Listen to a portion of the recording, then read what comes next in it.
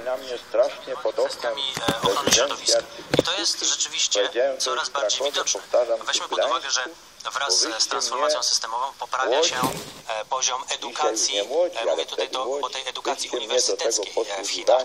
Coraz więcej dobrze wykształconych ludzi rozumie niuanse trajektorii rozwojowej, rozwoju społeczno-gospodarczego i rozumie te skutki uboczne, którymi właśnie jest często niesamowite w Chinach zanieczyszczenie środowiska. I na pewno ta presja Wracamy na do ochronę środowiska w Chinach będzie coraz silniejsza. Jestem o tym przekonany. Czy ona zaważy? A trudno jest powiedzieć, bo tak naprawdę polityka gospodarcza czy polityka rozwojowa Chin to jest skła, składa się z wielu składowych. Składa się ze Wysłuchaliśmy strategii państwa, ale też przez składa się z Pawła strategii II e, prowincjonalnych, no i też trochę chaosu, który mamy na dookoła, prawda? Chiny to jest w olbrzymi kraj z dużą ilością ludzi. E, Niemniej jednak ta 1987 presja na ochronę środowiska moim zdaniem rośnie i będzie rosła. Dla mnie fascynująca jest ta e, transformacja ustrojowa z kraju takiego specyficz- specyficznego komunizmu jednak przeradza się w zupełnie inny, jest taki jedyny eksperyment e, w gospodarczej e, współczesnej historii. E, Takiego przedziwnego tworu, w którym bardzo twarda władza, trzymająca mocno lejce i ster rządów i poluzowywująca w dziedzinie gospodarki, pozwalająca się bogacić przy zachowaniu tej, tej fasady ideologicznej. Ja w mojej książce najnowszej China and Post-Socialist Development próbuję wytłumaczyć ten fenomen.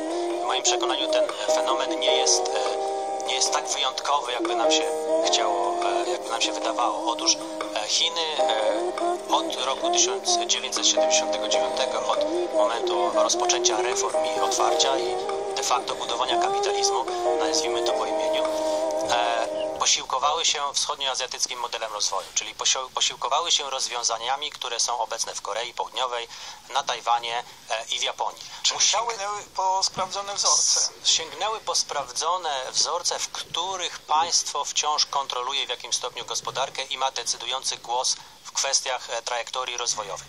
Natomiast oczywiście Chiny są krajem dużo większym i Chiny są krajem posocjalistycznym, czyli wcześniej miała tam miejsce nacjonalizacja przemysłu, miały tam miejsce mechanizmy e, centralnego planowania, e, panowała gospodarka nakazowo-rozdzielcza. W związku z tym Czyli te modele podobne doświadczenia, jakie jak, myśmy na- przeszli. jakie myśmy przeszli.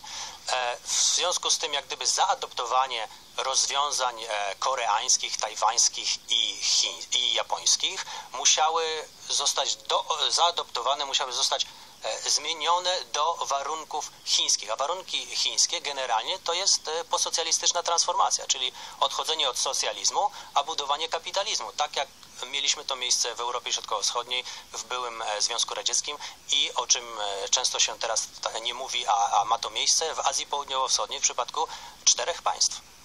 O których pan y, myśli, y, zapewne Birma, prawda, i Wietnam. Birma, Wietnam, Laos i w jakimś stopniu także Kambodża. Y, Zna pan dobrze te, te państwa. Odejdźmy na chwilę od Chin, ale w podsumowaniu jeszcze chciałbym powrócić do tego giganta. No, Birma jest takim niesłychanie ciekawym eksperymentem również od strony ekonomicznej. Tak, e, Bir- Birma jest bardzo ciekawym krajem. Ja przez ostatnie 4,5 roku bardzo dużo czasu spędziłem w Birmie, rozmawiając i z e, rządem, i rozmawiając z e, ówczesną opozycją demokratyczną Aung San Suu Kyi, e, a obecnie z partią rządzącą.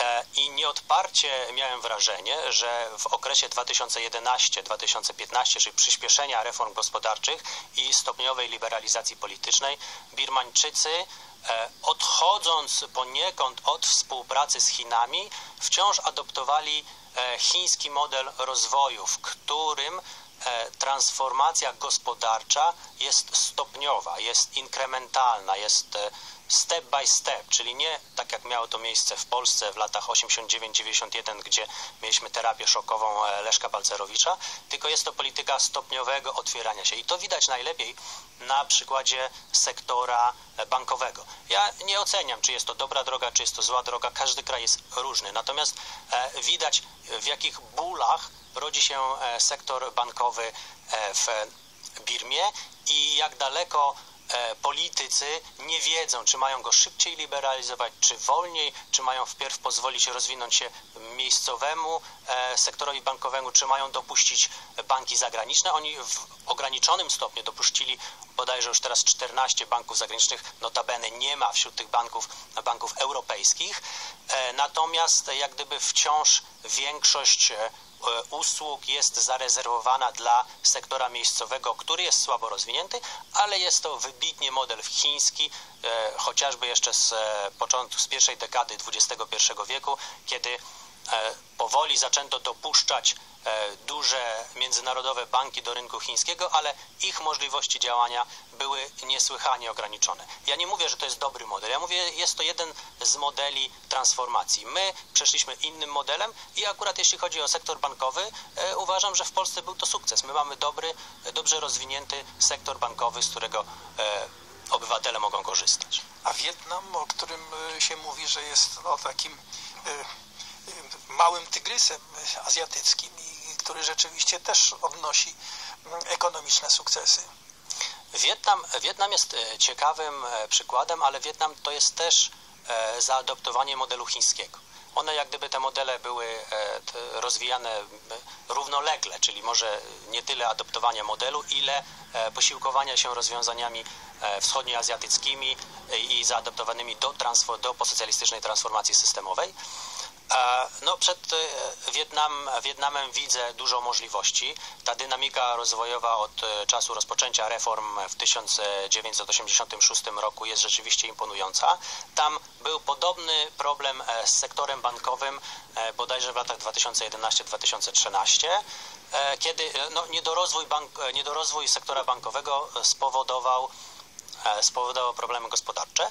E, natomiast e, no, jest to też podobny model, w którym e, najważniejszym element, elementem polityki gospodarczej jest rozwój społeczno-gospodarczy, jak najszybszy, jak, możli, jak, jak najszybszy możliwy i wszystko to czy w jakimś dużym wymiarze jest to kontrolowane przez państwo, co nie oznacza, że partia komunistyczna z nazwy nie wspiera inwestycji zagranicznej, nie wspiera interakcji międzynarodowej, bo wspiera najmniej stosunkowo z tych y, państw, o których y, wspominaliśmy, y, wiemy o, o Laosie. No, mam rzeczywiście trochę zamknięty jest i dla polskich turystów.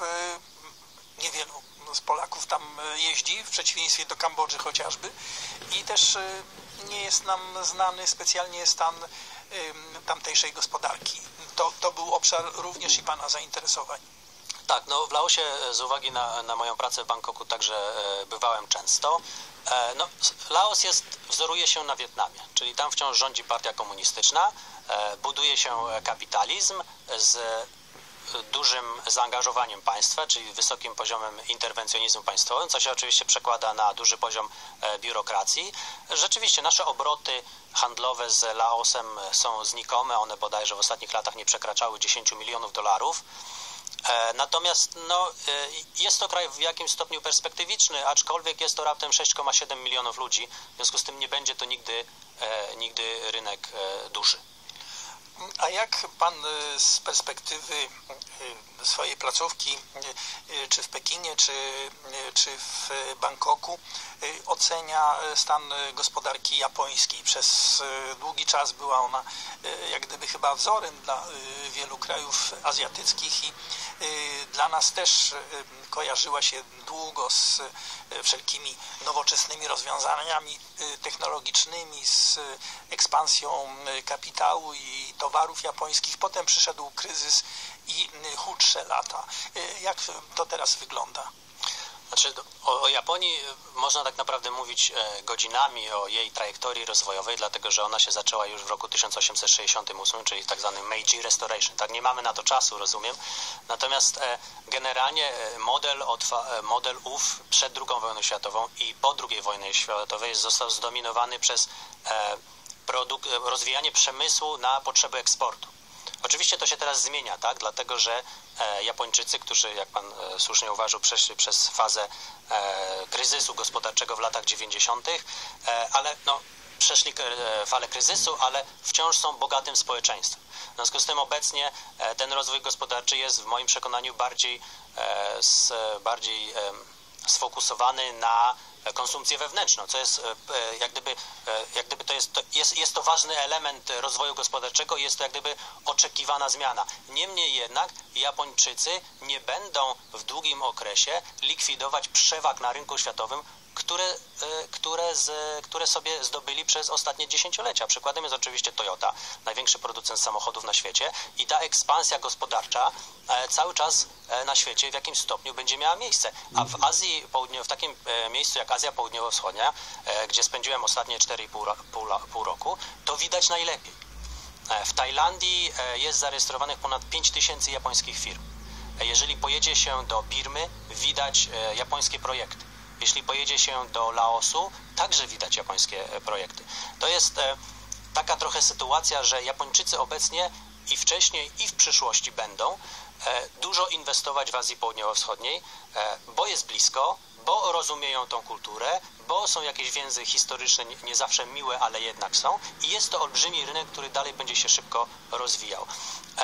Panuje przekonanie, że Japończycy przegapili dynamiczny rozwój Wietnamu i tam za dużo nie zainwestowali. I w związku z tym, z tym chcąc, ucząc się na własnych błędach i chcąc uniknąć ponownej wietnamskiej porażki, próbują swoich sił w innych krajach regionu i na pewno przez długi czas będą tutaj silni, bo mają technologię, mają globalne firmy, mają środki finansowe.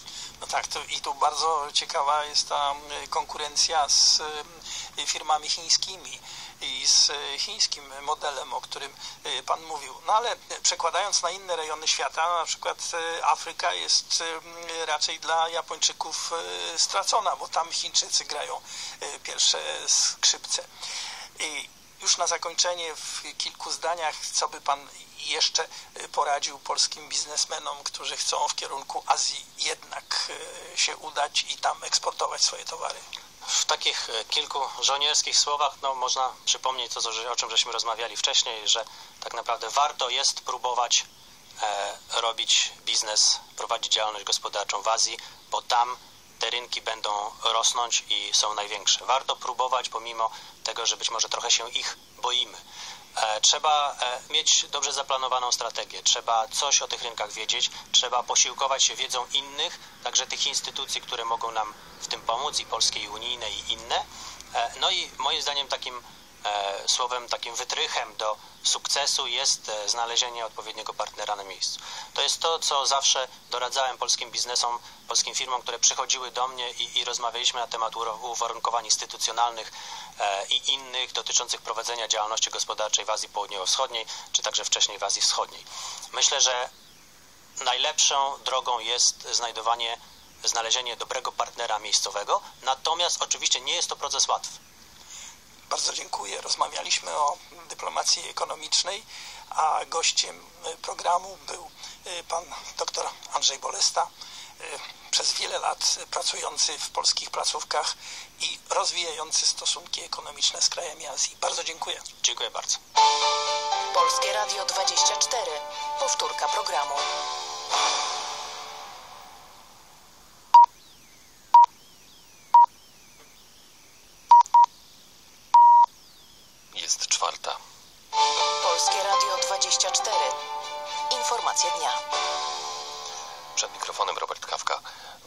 Wszystkich świętych wspominaliśmy wczoraj wszystkich zmarłych. Polacy w całym kraju odwiedzali groby swoich bliskich, a także osób zasłużonych, żołnierzy, ludzi kultury i sztuki, naukowców i działaczy społecznych.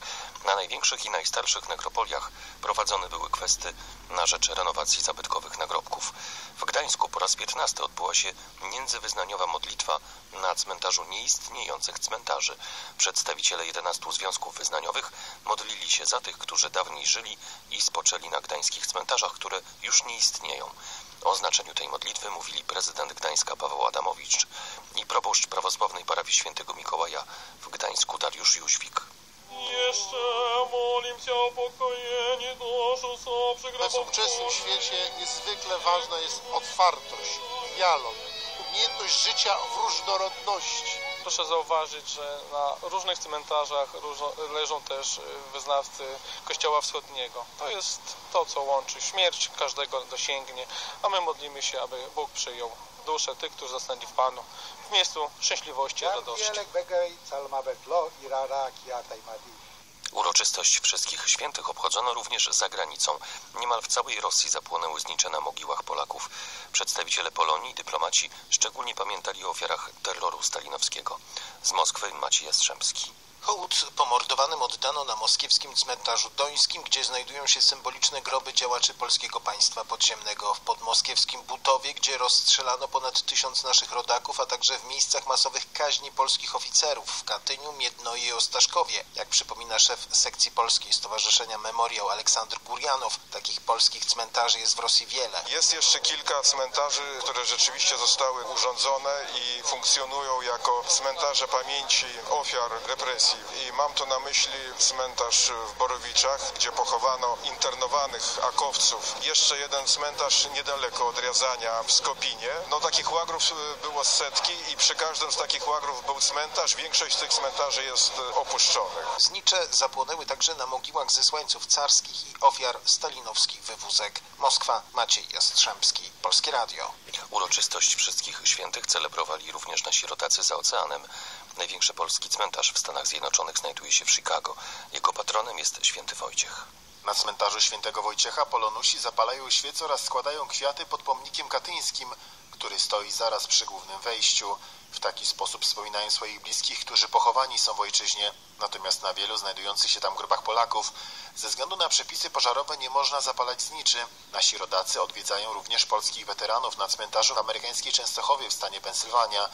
Na stałe spoczęło tu 5 tysięcy Polaków, wśród których są weterani z I i II wojny światowej, mówi ojciec Rafał Walczyk, przeor amerykańskiej Częstochowy. Sekcja weterańska na cmentarzu przy Sanktuarium Matki Bożej Jasnogórskiej.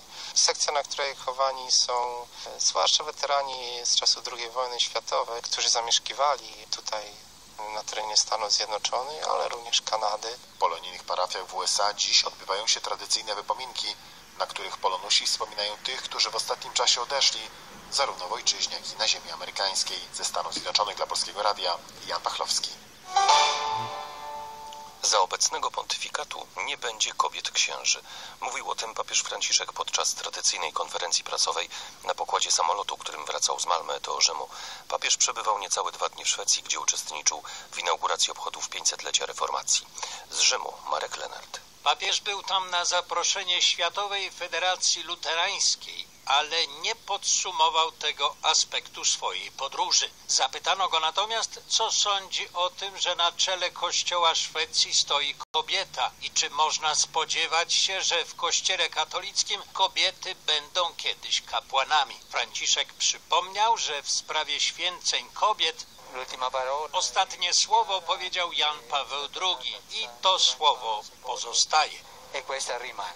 Papież odwołał się do listu apostolskiego Ordinatio Sacerdotalis Jana Pawła II o udzielaniu święceń kapłańskich wyłącznie mężczyznom z maja 1994 roku. Marek Lenert, Polskie Radio, Rzym.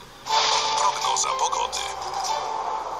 Wracamy do kraju. W dzień zachmurzenie będzie duże z większymi przejaśnieniami. Okresami przelotny opad deszczu, krupy śnieżnej. Na Podhalu deszczu ze śniegiem, a w górach śniegu. Lokalnie możliwe są też burze. Temperatura od 5 do 8 stopni. Wiatr umiarkowany i dość silny. Nad morzem i w górach porywisty. Polskie Radio 24. Słowem wszystko.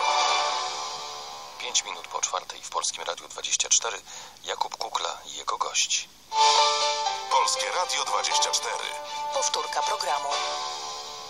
Gość Polskiego Radia 24. W naszym studiu Dorota Szulc-Wojtasik, redaktor naczelna magazynu Cztery Łapy. Dzień dobry. Dzień dobry. Dzień Wszystkich Świętych. Polacy tłumnie odwiedzają groby swoich bliskich, bliskich ludzi, ale niektórzy wspominają nie tylko ludzi, ale także zwierzęta, swoich czworonogów. Pan jest w tej grupie. Tak, oczywiście dla mnie zwierzę, a ja jestem psiarą, e, jest e, zawsze członkiem rodziny E, kimś ważnym, kimś bliskim, z kim się spędza dużo czasu i ma się cudowne wspomnienia. Chociaż z perspektywy nieposiadacza czworonoga może wydawać się to nieco dziwne. Moment, w którym idziemy na groby naszych bliskich, członków rodzin, przyjaciół, wspominamy ludzi, z którymi mieliśmy kontakt, którzy odeszli, którzy z którymi już się nigdy nie spotkamy. To się wydaje oczywiste. Przyjęło się wieki temu i tak trwa i pewnie jeszcze będzie trwało. Tymczasem wspominanie zwierząt to jest chyba dość nowy trend. Albo się mylę. Myślę, że było zapotrzebowanie na coś takiego, ponieważ e, posiadanie ukochanego psa czy kota e, czy, czy innego zwierzaka domowego zawsze u ludzi pełnych wrażliwości, empatii, e, czułości, powiedzmy takich uczuć wyższych, zawsze takie takie właśnie przeżycia mm, dawały potrzebę, e, żeby mm, tego zwierzaka w jakimś miejscu czy, czy, czy pochować, czy, czy, czy uczcić jego pamięć. Więc, więc myślę, że teraz po prostu mamy więcej narzędzi do tego, mm, żeby czcić te zwierzęta również po ich odejściu, czcić w cudzysłowie, prawda, po prostu pamiętać o nich. I dlatego pewnie więcej się o tym mówi, a więcej się o tym mówi dlatego, że to wywołuje bardzo pozytywne uczucia. Pani wspomniała o pewnych miejscach. Mówiąc o miejscach, miała Pani zapewne na myśli cmentarze dla zwierząt. Tak, mam na myśli na przykład cmentarze dla zwierząt. E, sama mm, pochowałam na cmentarzu dla zwierząt e, w Koniku E, moją cudną suczkę owczarka niemieckiego, która miała na imię Apla. Mm, ma tam po prostu swój grób i mm, zanim odeszła, jak znalazłam się w tym miejscu, od razu wiedziałam, że właśnie będę chciała ją tam pochować. To jest absolutnie wyjątkowe miejsce, mm, ponieważ właśnie nawet będąc tam e, i nie mając tam grobu, jak przechodzi się przez alejki, gdzie mm, ludzie pochowali swoich czworonożnych przyjaciół, czyta się te e, motta, te, te pełne czułości e, wspomnienia, ogląda się zdjęcia, to rzeczywiście łezka się kręci w oku ale to jest takie bardzo oczyszczające e, doznanie. To jest takie, takie wzruszenie, e, tak zwane piękne wzruszenie. E, to jest takie miejsce, gdzie spotykają się też ludzie, Mm, zawsze w okolicy 4 października, czyli miesiąc przed 1 e, listopada i tam są tak zwane zaduszki zwierzęce. Przyjeżdżają ludzie, którzy mają tam pochowane, pochowanych swoich przyjaciół na czterech łapach, przyjeżdżają już z następnymi czworonożnymi podopiecznymi. Mm, są tam zawsze fundacje ze zwierzakami do adopcji, są kwesty, można zakupić kwiaty, znicze, co, co kto tylko chce. I miłe jest to, że my się tam czujemy jak taka wielka rodzina. E, dużo rozmawiamy ze sobą, e, wspominamy, rozmawiamy też o sprawach ważnych dla zwierząt, czyli, czyli taką sprawą istotną jest zawsze e, walka z bezdomnością w Polsce. Jeśli chodzi, za chwilę o tych ważnych sprawach też porozmawiamy, a jeśli chodzi o same cmentarze, kiedy zaczęły się pojawiać w Polsce? Jak dużo jest ich teraz? E, cmentarzy jest kilka w Polsce. Mm, to jest kwestia, myślę, że ten konik nowy to jest 20 parę lat temu. 20-30 lat, nie, no bardziej 20 lat. E, od 20 lat mniej więcej istnieje. Wcześniej nie, nie było takich e, miejsc. Wspomniała Pani przede wszystkim o pozytywnych odczuciach i o pozytywnych uczuciach, które pojawiają się w czasie wizyt w, w, takim właśnie miejscu jak ten cmentarz, o którym mówimy, ten cmentarz dla zwierząt. A nie spotkała się Pani też z opiniami, że to może jednak jest o krok za daleko, że to już trąci przesadą, bałwochwalstwem może nawet? Szczerze mówiąc, kompletnie mnie nie interesują takie opinie, e, dlatego że e, w takim traktowaniu zwierząt nie ma ani krzty E, złych uczuć czy złych emocji. Właśnie tak jak tutaj opowiadałam, e, wręcz przeciwnie i myślę, że mm, w ogóle warto posiadać w swoim życiu zwierzę i, i, i przekonać się e, o tym, jak może kochać pies, a jak bardzo niezależny może być kot, który też się bardzo przywiązuje do, do człowieka. Mm, I wtedy, jeżeli to jest taka silna więź, to, to w sposób y, oczywisty też chcemy się z tym zwierzakiem mm, godnie pożegnać. Ale bywa, że następuje ten moment, kiedy zwierzę odchodzi. To jest trudny moment dla całej rodziny? To jest moment w ogóle niewyobrażalnego bólu. Ja 17 lipca e, pożegnałam moją najukochańszą sunię, Milunię. Mm, oczywiście kocham moje psy zawsze bardzo, natomiast to był ten pies mojego życia. To była suczka po ciężkich przejściach, nie miała tylnej nóżki. Znaleziona na ulicy jako około dwuletni psiak.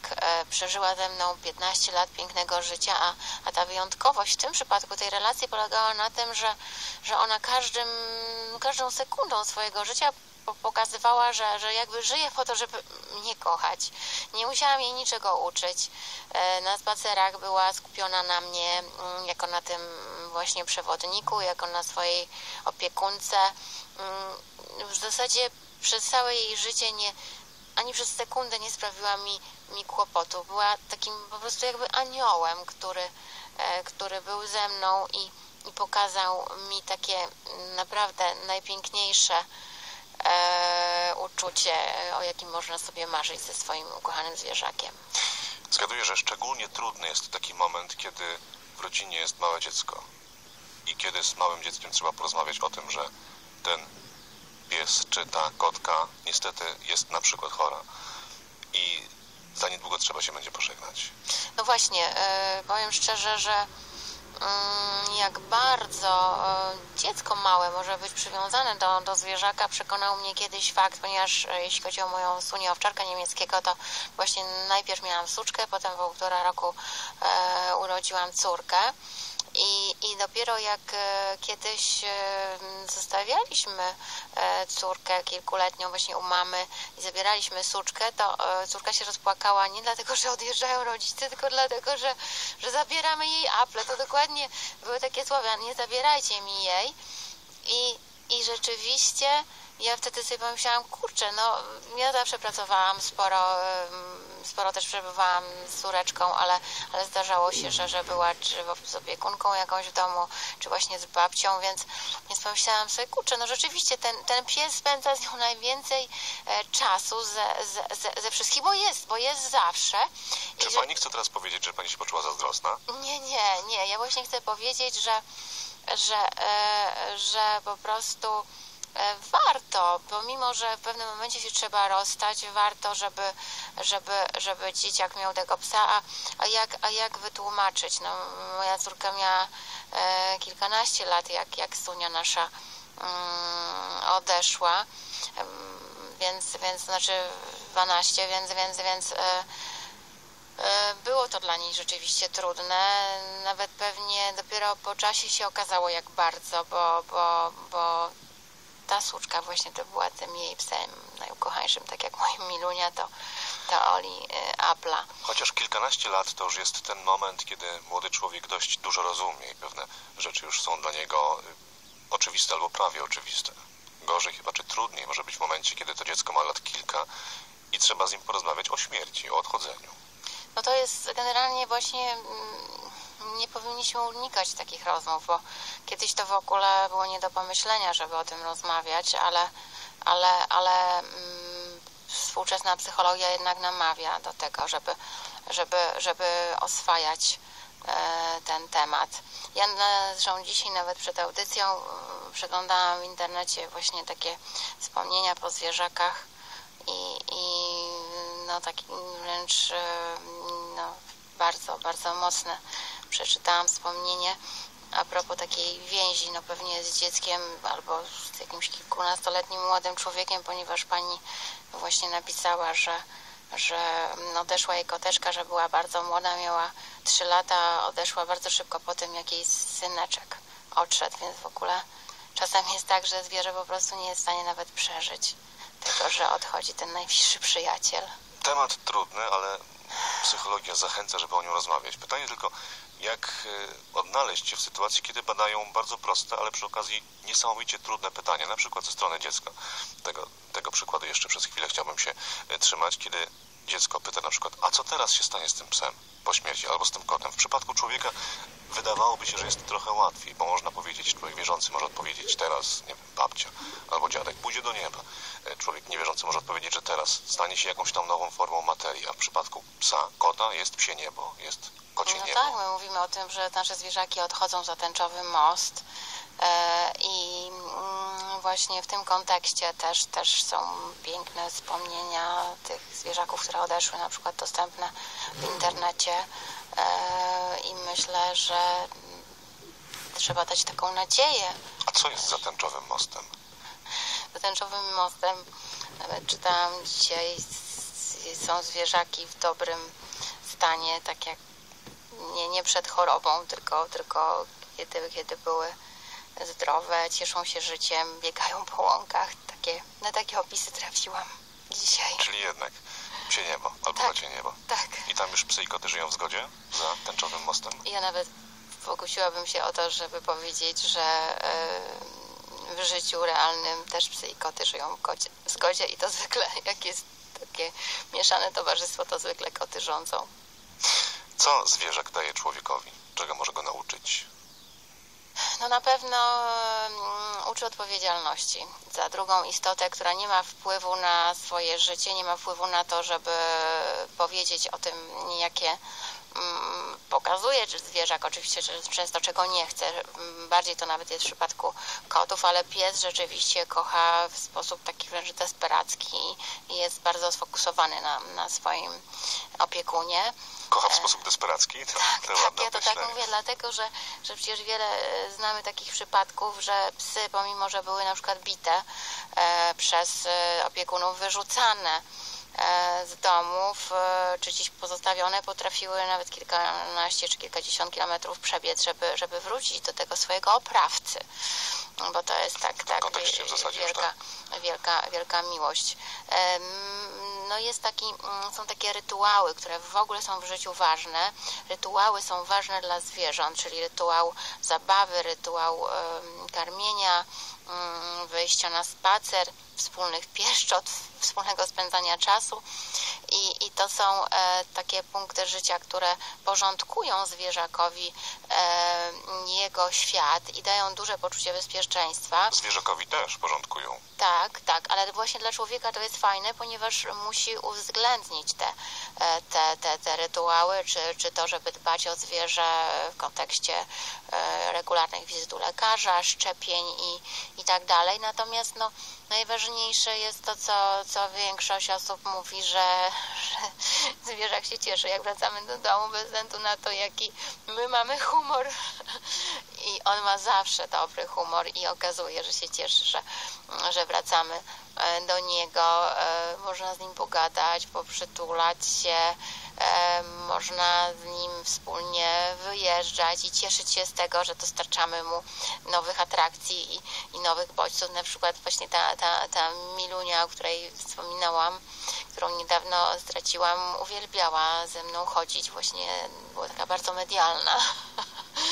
lubiła chodzić do, do programów telewizyjnych, śniadaniowych. Też byłam z nią kilka razy e, w radiu i wtedy się cieszyła tym, że jest w centrum uwagi i wszyscy zawsze mówili, że to ona jest gwiazdą, a nie w danym momencie ja jako osoba, która na przykład udziela wywiadu, więc więc, więc to są, to są e, naprawdę takie, takie pozytywne e, rzeczy i, i też, e, no to też zależy, bo zależy, że zwierzę długo choruje, długo odchodzi, tak było w przypadku mojego owczarka niemieckiego, no to wtedy jest bardzo, bardzo trudne, bo, bo, bo ta, ta bezsilność to składa się na, na dni, a nawet miesiące, mm, no ale to, to tak jest, to nie mamy na to wpływu.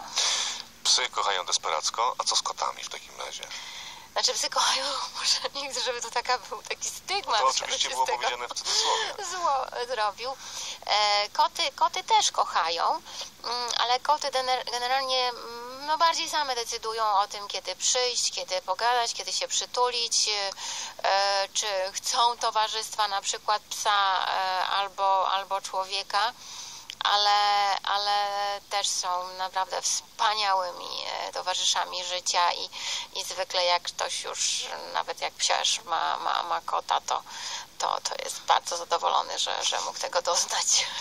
Wyjaśniła Pani już, co zwierzęta dają ludziom, a odwrotnie, co ludzie dają zwierzętom?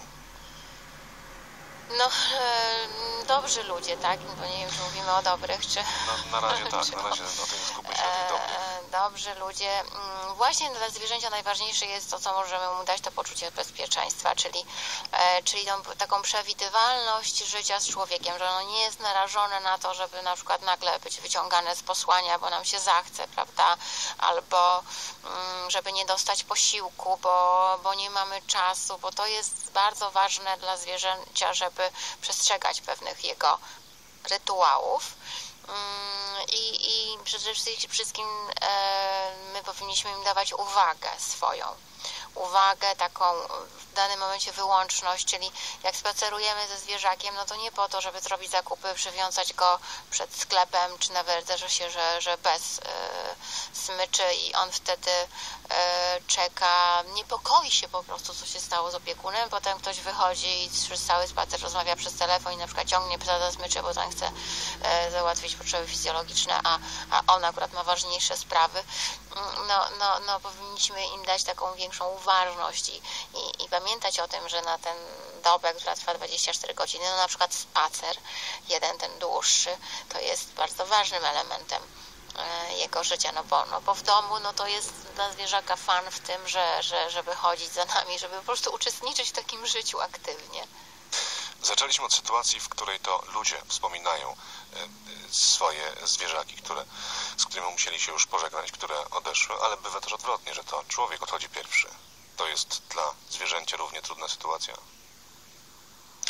No ja tutaj chciałabym podać taki przykład e, pieska, którego mm, pomagałam przy adopcji tego psiaka. To była historia sprzed kilku lat, kiedy okazało się, że na północy e, Polski e, piesek stracił e, opiekunkę Mm, przez chwilę zajmowała się nim y, pani sąsiadka i on nie wiadomo w ogóle w jaki sposób wydostał się od niej i nie będąc nigdy wcześniej na cmentarzu, pobiegł na cmentarz i leżał na grobie swojej opiekunki i nie mógł się po prostu dać stamtąd y, ruszyć.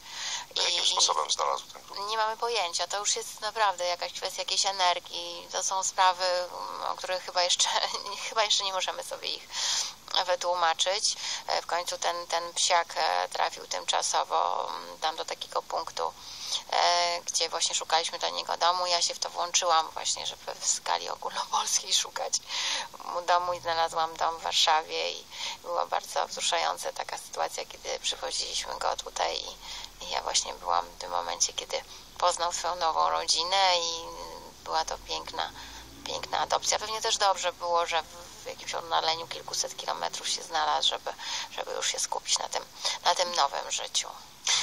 Pani mówiła, że bywa, że zwierzęta odchodzą długo, trapione chorobą ciężką, nieuleczalną. W świecie, w relacjach ludzko-ludzkich w skrajnych przypadkach pojawia się słowo eutanazja, które budzi skrajne kontrowersje przy okazji e, również. Jak jest w relacjach ludzko-zwierzęcych, mówi się wtedy o usypianiu zwierząt. To słowo Też również budzi takie kontrowersje.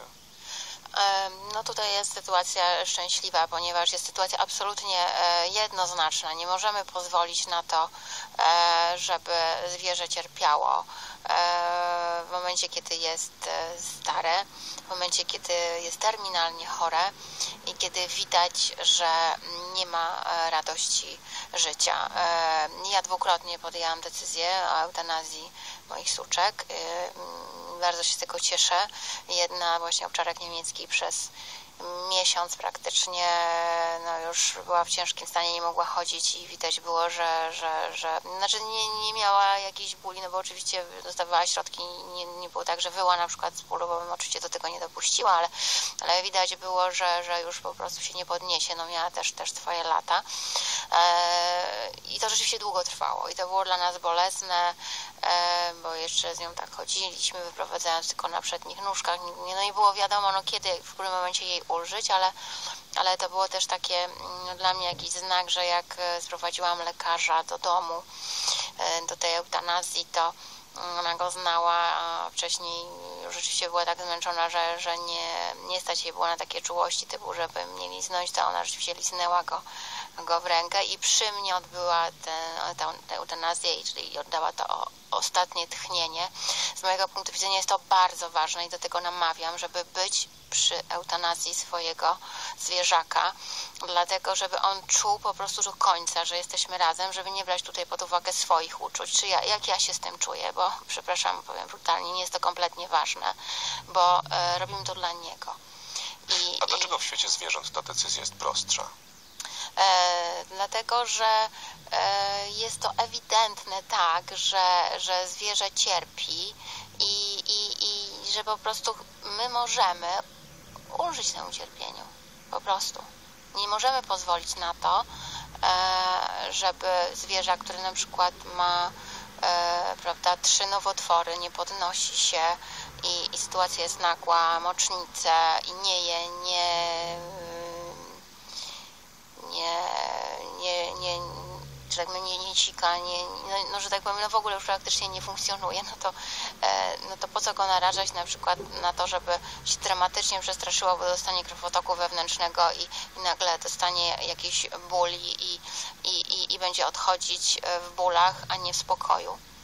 A eutanazja to jest takie odejście w spokoju. Najpierw podaje się środek uspokajający, przy którym zwierzę tak gdyby przysypia, a później podaje się e, dożylnie e, środek, e, który powoduje, że, że serce przestaje bić. No i wtedy w momencie po takiej eutanazji mamy też możliwość od niedawna czy w, ogóle, jeśli chodzi o zwierzę, które, które przestaje żyć, żeby poddać go na przykład kremacji indywidualnej. Też są takie możliwości, poza tym, że możemy je pochować e, na cmentarzu, na grzebowisku, tak to się nazywa e, prawidłowo, to, to, to od niedawna też jest możliwość kremacji indywidualnej. E, I myślę, że to jest bardzo, bardzo fajny pomysł. Ja z kolei drugiego zwierzaka właśnie poddałam kremację, a dzisiaj mam na sobie wisiorek, gdzie mam symbolicznie fra fragment jej, jakąś cząstkę jej prochów. A później, albo po kremacji, albo y, po tym, jak zwierzak spoczął na cmentarzu dla zwierząt, żałoba? To znaczy, y, to chyba każdy indywidualnie przechodzi, ponieważ myślę, że najtrudniejszy jest ten moment, kiedy zwierzę nie domaga. Ja mogę powiedzieć tak o sobie. I, i, i ten moment, e, kiedy, kiedy rzeczywiście już sobie zdajemy sprawę, że, że to będą godziny, e, kiedy może być z nami i ja naj, najbardziej płakałam, najbardziej wręcz można powiedzieć wyłam z bólu mm, przed, przed tą eutanazją, bo, bo już wiedziałam, że to jest koniec, natomiast na przykład e, miałam tak pięknie przeprowadzoną eutanazję w miejscu też e, w Animal Parku w Lublinie, gdzie przy klinice weterynaryjnej jest krematorium. E, ktoś, ludzie, którzy się tym zajmują, zaopiekowali się też mną i moją córką i, i, i biorąc pod uwagę, jakie to są trudne chwile, w sposób taki bardzo wrażliwy i empatyczny mm, mi, mi pomogli, że, że później już odczuwałam ulgę. Później to są, to są głównie miłe wspomnienia, e, Natomiast są takie momenty, na przykład Dzień Kundelka to był dla mnie takim trudnym dniem, ponieważ organizujemy Dzień Kundelka w, zwykle od 10 lat w Warszawie, no i noc przed to no tak mi się Milunia przypominała moja, że, że było mi wtedy trudno. Dorota Szulc-Wojtasik, redaktor naczelna magazynu 4 Łapy. Bardzo dziękuję. Bardzo dziękuję. Autopromocja. Polskie Radio 24. Pieniądze, inwestycje, podatki, rynek pracy. Komentarze, opinie, analizy, dyskusje. Puls gospodarki od poniedziałku do piątku o 10.15. Autopromocja. Informacje dnia w skrócie. Przed mikrofonem Robert Kawka. Nowe leki stosowane w łuszczycy, depresji, hiperurykemii oraz ciężkiej padaczce niemowląt znalazły się na nowej liście refundacyjnej. Zmiany właśnie weszły w życie. Szczegóły Joanna Stankiewicz. Na liście refundacyjnej znalazły się cztery nowe leki, które do tej pory nie były refundowane. Wśród nich jest między innymi lek stosowany w Łuszczycy. Powiedział wiceminister zdrowia Marek Tombarkiewicz. Zdecydowaliśmy się na wprowadzenie nowego leku, który zastąpi dotychczas stosowane maści robione w aptece. Dodatkowo rozszerzamy leki stosowane w hyperurykemii, czyli w podwyższonym poziomie kwasu moczowego. Minister Tombarkiewicz dodał, że rozszerzono też programy lekowe w niektórych chorobach onkologicznych. Nowe preparaty dostępne w leczeniu raka nerki i raka płuca, też bardzo oczekiwane przez środowisko lekarzy onkologów, ale i pacjentów. Załącznikiem do listy leków refundowanych jest wykaz bezpłatnych leków dla seniorów. Ministerstwo Zdrowia zapowiada, że w styczniu spis ten zostanie rozszerzony o nowe leki stosowane w leczeniu nadciśnienia tętniczego, jaskry oraz insuliny krótkodziałające. Joanna Stankiewicz, Polskie Radio. Kontrolowany przez opozycję wenezuelski parlament zawiesił procedurę przeciwko socjalistycznemu prezydentowi Nicolasowi Maduro, oskarżonemu przez nią o prowadzenie nierozważnej i wyniszczającej kraj polityki gospodarczej. Ta decyzja nie jest kapitulacją, lecz ma na celu znalezienie rozwiązania, oświadczył przewodniczący wenezuelskiego Zgromadzenia Narodowego. Sygnalizowano, że procedura zostanie zawieszona, aby dać więcej czasu na rozmowy rządu z opozycją. Jednocześnie opozycja ogłosiła, że wstrzymuje planowany na czwartek marsz na Pałac Prezydencki w Caracas.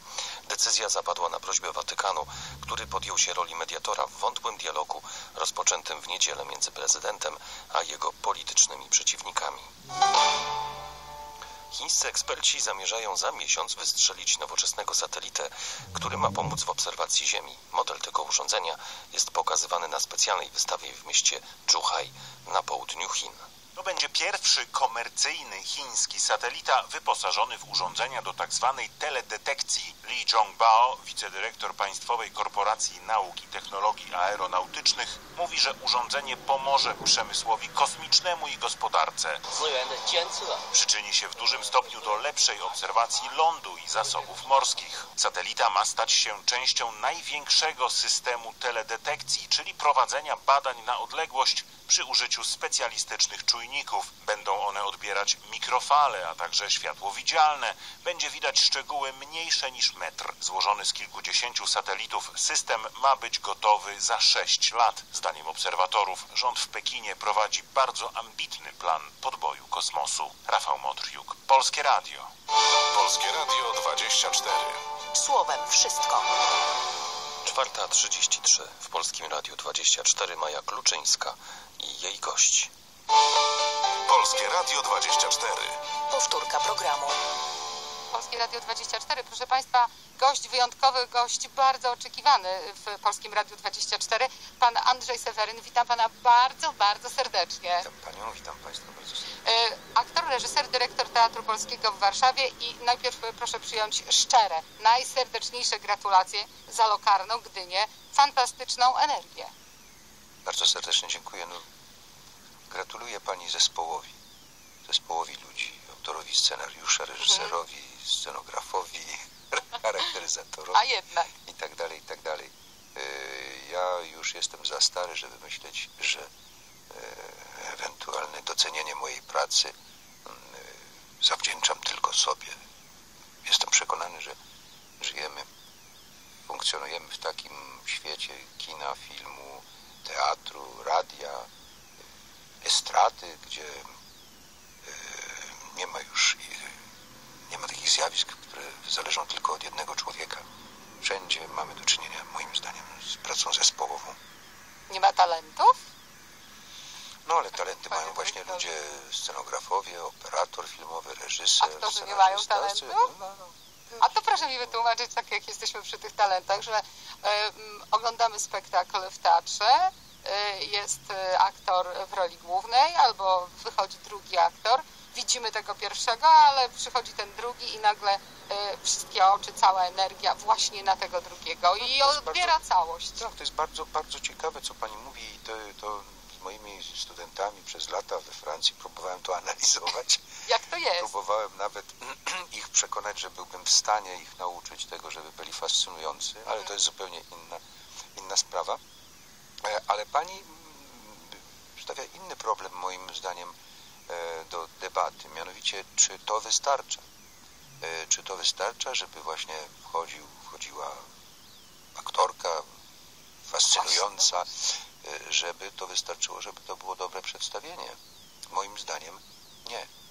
Moim zdaniem sztuka teatru jako królowa sztuk, ponieważ w teatrze jako król sztuk, sztu, a nie sztuka, sztuka teatru jako, jako e, e, królowa sztuk, ponieważ to w teatrze mamy do czynienia ze wszystkimi rodzajami sztuki, poprzez taniec, e, śpiew, operę, mm, e, literaturę, malarstwo, rzeźbę, wszystko czyni, że nie można analizować wyłącznie jednego elementu tej sztuki teatralnej, a mianowicie na przykład aktora. No co mi z tego, że aktor gra dobrze, jak on jest źle oświetlony, albo No, bardzo niedobrze, nie, niedobrze ubrany, albo wokół niego partnerzy w ogóle no, nie mają pojęcia, co grają. E, albo jeżeli on gra dobrze, ale tak to jest wyreżyserowane, że nie wiemy właściwie po co on gra. On jest fascynujący, on jest wspaniały, on jest jedyny, ukochany.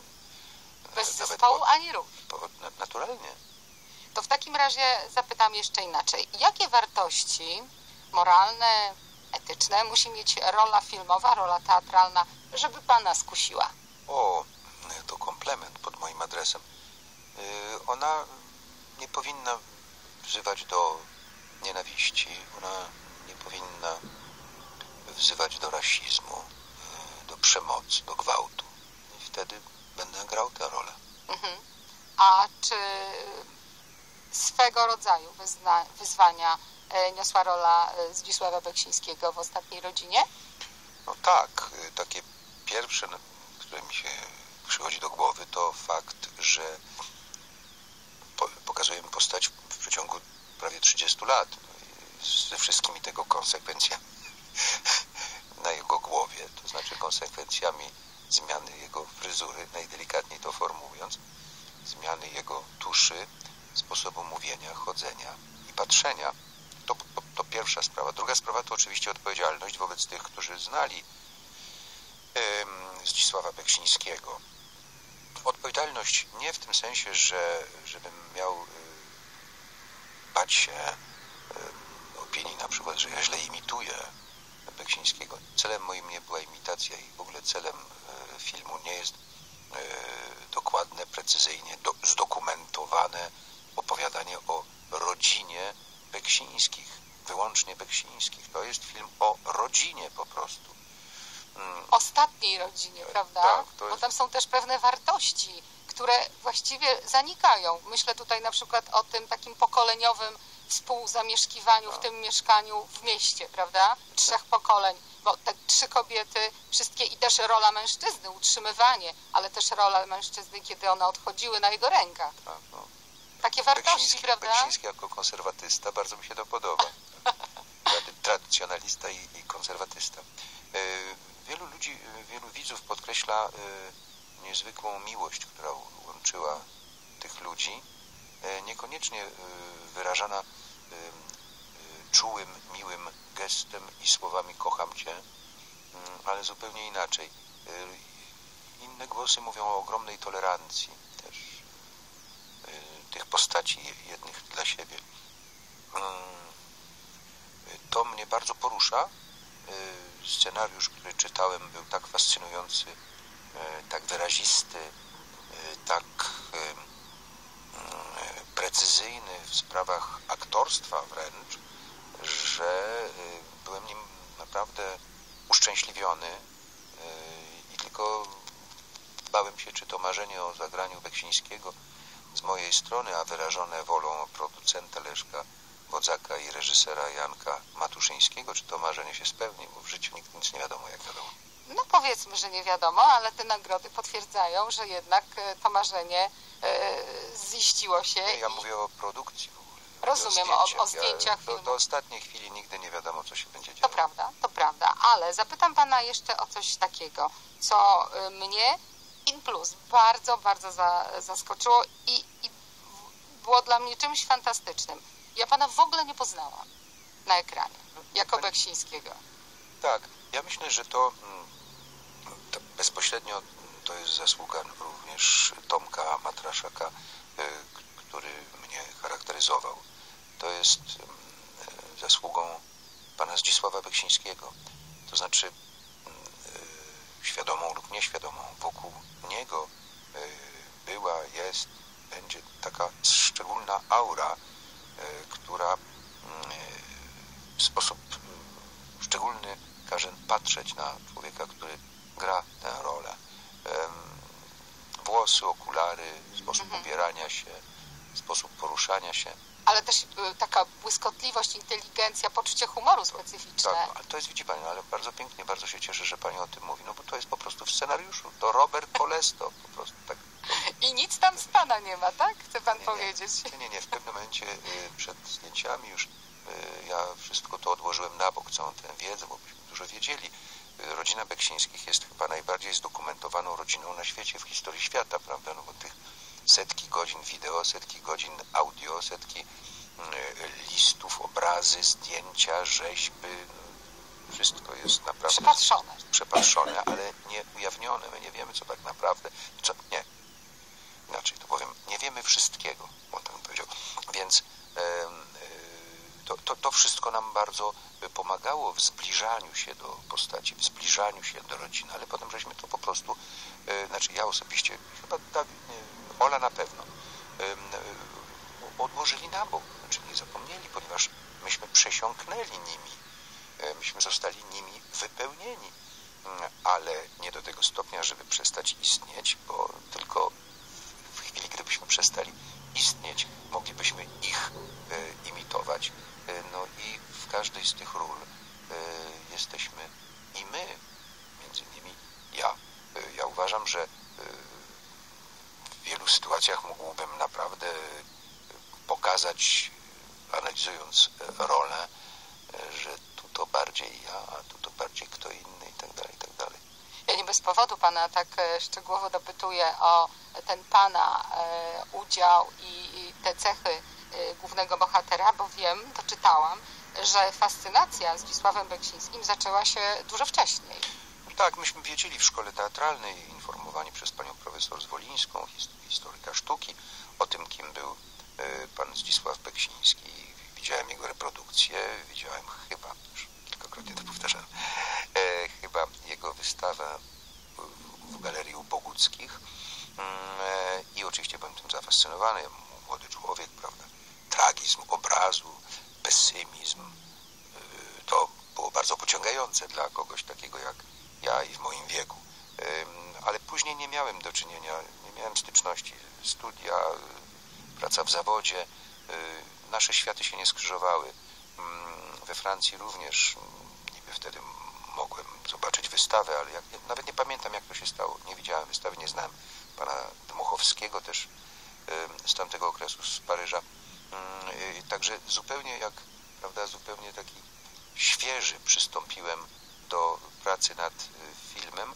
Mało tego, ja w ogóle nie wiedziałem, kto to jest Tomek Beksiński. Ja w ogóle nie wiedziałem, że taka osoba istniała. Taka tabula rasa? Tak, jeśli chodzi o, to, o Tomka, to absolutnie. Ostatnio dowiedziałem się, że na przykład moja córka mi moja córka mi opowiadała po prostu, jak, jaki wpływ na życie niektórych młodych ludzi wywarł wtedy, Mhm. y, pracując w radio, Tomek Beksiński, o którym ja nie wiedziałem, że istnieje. Charyzmatyczna osobowość. Ja przyjaźniłam się z Tomaszem No, Beksińskim po drugiego roku studiów, kiedy zaczynałam pracę w Polskim Radiu, więc ja doszukiwałam się w postaci e, Tomasza Beksińskiego pewnych e, takich e, odniesień do, do życia radiowego i do tego, jakim on był e, człowiekiem, jakim był e, kolegą, jakim był radiowcem.